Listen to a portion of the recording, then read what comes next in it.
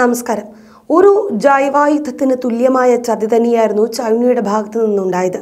Covid വൈറസിനെ കുറിച്ച് യാതൊന്നും പറയാതെ ലോകം മുഴുവൻ പടച്ചുവിട്ട ചതി കൊടും ചതി. പിന്നീട് മാസ്കിന്റെ കാര്യത്തിലും പുറകെ വാക്സിനിലുമാണ് ഇപ്പോൾ ചൈനയുടെ ചതി അരങ്ങേറുന്നത്. വ്യാജ കോവിഡ് വാക്സിനുകൾ നിർമ്മിച്ച് കോടിക്കണക്കിന് രൂപയുടെ തട്ടിപ്പ് നടത്തിയ സംഘത്തിലെ പ്രധാനി അറസ്റ്റിലായതോടുകൂടിയാണ് ഇത്രയും വലിയൊരു തട്ടിപ്പിന്റെ വ്യാപ്തി പുറം ലോകം അറിയുന്നത്. വ്യാജ വാക്സിൻ തട്ടിപ്പ് സംഘത്തിന്റെ തലവനായ കോങ് എന്നയാളാണ് ചൈനയിൽ പിടിയിലായത്. ഉപ്പ് ലായനിയും മിനറൽ വാട്ടറുമാണ് ഇയാൾ കോവിഡ് വാക്സിൻ എന്ന് പറഞ്ഞ് വിൽപ്പന നടത്തിയിരുന്നത്. നിരവധി പേരാണ് ഇത്തരത്തിൽ വ്യാജ കോവിഡ് വാക്സിന്റെ കുത്തിവയ്പ് സ്വീകരിച്ചത്. യഥാർത്ഥ വാക്സിന്റെ പാക്കേജ് ഡിസൈൻ അടക്കം കൃത്യമായി മനസ്സിലാക്കിയാണ് കോങ് വ്യാജ വാക്സിനുകൾ വിപണിയിൽ എത്തിച്ചത് എന്നാണ് മാധ്യമങ്ങളുടെ റിപ്പോർട്ട്. കഴിഞ്ഞ ഓഗസ്റ്റ് മുതൽ വ്യാജ വാക്സിനുകളുടെ നിർമ്മാണം ആരംഭിച്ചിരുന്നു. ഇതിൽ അറുന്നൂറ് ബാച്ച് വാക്സിനുകൾ നവംബറിൽ ഹോങ്കോങ്ങിലേക്ക് അയച്ചു. പിന്നാലെ മറ്റ് വിദേശ രാജ്യങ്ങളിലേക്കും വ്യാജ വാക്സിൻ കടത്തി. തട്ടിപ്പിലൂടെ കോങ് ഉൾപ്പെടെയുള്ള സംഘം ഏകദേശം പതിനെട്ട് മില്യൺ യുവാന്റെ അതായത് ഏകദേശം ഇരുപത് കോടിയിലേറെ രൂപ സാമ്പത്തിക നേട്ടം ഉണ്ടാക്കി എന്നാണ് റിപ്പോർട്ട്. വ്യാജ വാക്സിനുകളുമായി ബന്ധപ്പെട്ട് കോങ് ഉൾപ്പെടെ എഴുപതോളം പേരെയാണ് ചൈനയിൽ പിടികൂടിയിട്ടുള്ളത്. ഉയർന്ന വിലയ്ക്ക് വ്യാജ വാക്സിനുകൾ ആശുപത്രിയിൽ വിറ്റവരും നാട്ടുവൈദ്യന്മാരെ ഉപയോഗിച്ച് ഗ്രാമങ്ങളിൽ കുത്തിവയ്പ് ക്യാമ്പുകൾ സംഘടിപ്പിച്ചവരും ഇതിൽ ഉൾപ്പെടുന്നുണ്ട്.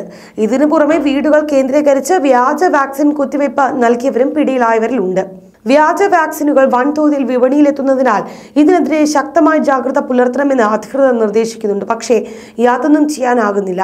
ഇത്തരം തട്ടിപ്പ് സംഘങ്ങളെ കണ്ടെത്താൻ പ്രാദേശിക ഏജൻസികൾ പോലീസുമായി സഹകരിക്കണമെന്ന് സുപ്രീം പീപ്പിൾസ് പ്രോക്യൂറേറ്ററേറ്റ് ആവശ്യപ്പെട്ടു. കോവിഡ് വ്യാപനം ആദ്യം കണ്ടെത്തിയ ചൈനയിൽ ഇതുവരെ നാല് കോടി പേർക്ക് മാത്രമാണ് വാക്സിൻ നൽകിയിട്ടുള്ളത്.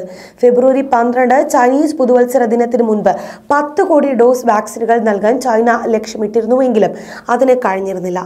എന്നാൽ പുറം രാജ്യങ്ങളിലേക്ക് പാകിസ്ഥാൻ അടക്കമുള്ള രാജ്യങ്ങളിലേക്ക് ചൈന വാക്സിൻ കയറ്റുമതി ചെയ്യുന്നുമുണ്ട്. കർശനമായ ലോക്ക്ഡൌണിലൂടെയും സാമ്പിൾ പരിശോധനകളിലൂടെയും ട്രേസിംഗിലൂടെയും കോവിഡ് വ്യാപനം നിയന്ത്രണ വിധേയമാക്കാൻ കഴിഞ്ഞിട്ടുണ്ട് എന്ന് അധികൃതർ പറയുമ്പോഴും യഥാർത്ഥ സംഖ്യ ഇവർ മറച്ചു വെക്കുന്നതാണ് എന്ന് വ്യക്തവുമാണ്. എന്തായാലും കോവിഡിന്റെ ഉത്ഭവം അന്വേഷിക്കുന്ന ലോകാരോഗ്യ സംഘടനയുടെ നേതൃത്വത്തിലുള്ള സംഘത്തിന് പ്രാഥമികമായ കോവിഡ് കേസുകളുടെ വിശദമായ വിവരങ്ങൾ നൽകാൻ ചൈന വിസമ്മതിച്ചിട്ടുണ്ട് എന്ന വിവരമാണ് കഴിഞ്ഞ ദിവസം പുറത്തുവന്നത്. മഹാമാരി എങ്ങനെ ആരംഭിച്ചുവെന്ന് മനസ്സിലാക്കാനുള്ള ശ്രമങ്ങൾ ഇത് സങ്കീർണമാക്കാൻ സാധ്യതയുണ്ട് എന്ന് അന്വേഷണ സംഘം വിലയിരുത്തുകയും ചെയ്തിരുന്നു. എന്തായാലും ചൈനയ്ക്ക് നിസ്സഹകരണം തന്നെയാണ്. കാരണം യഥാർത്ഥ വസ്തുത പുറം ലോകമറിയും.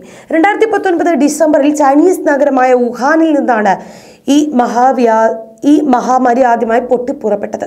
നൂറ്റി എഴുപത്തിനാല് രോഗികളുടെ വിശദമായ വിവരങ്ങൾ സംഘം ആവശ്യപ്പെട്ടിരുന്നു. എന്നാൽ ഇവയുടെ സംഗ്രഹം മാത്രമേ നൽകിയിട്ടുള്ളൂ എന്നാണ് ടീമിലെ അംഗമായ ഓസ്ട്രേലിയൻ പകർച്ചവ്യാധി വിദഗ്ധൻ ചൂണ്ടിക്കാട്ടുന്നത്. തുടക്കത്തിൽ തന്നെ നൂറ്റി എഴുപത്തിനാല് കേസുകളിൽ പകുതിയും വുഹാൻ മാർക്കറ്റുമായി ബന്ധപ്പെട്ടിരിക്കുന്നതിനാൽ ഈ വിവരം ലഭിക്കേണ്ടത് പ്രധാനമാണ് എന്നും അദ്ദേഹം ചൂണ്ടിക്കാട്ടിയിട്ടുണ്ട്. എന്തുകൊണ്ടാണ് വിവരം ലഭിക്കാത്തത് എന്ന് അറിയില്ല എന്ന് അന്വേഷണ സംഘം വാക്കാൽ പറയുന്നുണ്ട്. എങ്കിലും ചൈനയുടെ ലക്ഷ്യം ഏതാണ്ട് വ്യക്തം തന്നെയാണ്. എന്തായാലും ഈ വൈറസിന്റെ ഉറവിടം ഏതാണ് എന്ന് വ്യക്തമാകുമ്പോൾ പുറം ലോകം ചൈനയെ ചവിട്ടിത്തേക്കും എന്ന് തന്നെയാണ് ചൈന തിരിച്ചറിയുന്നത്. അത് തന്നെയാണ് ചൈന യഥാർത്ഥ സത്യം പുറത്തുവിടാതെ എല്ലാം രഹസ്യമായി വയ്ക്കാൻ കാരണവും